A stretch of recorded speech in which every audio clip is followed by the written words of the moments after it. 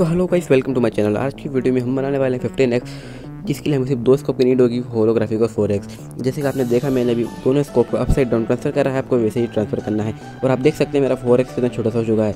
वैसे आप देखिए, हमारी कार नाइनटी बड़ी खतरनाक हो चुकी है। और देख सकते हैं कि बूम गाइस आप देख सकते हैं, हमारा फिफ्टीन एक्स कितना खतरनाक हो चुका है।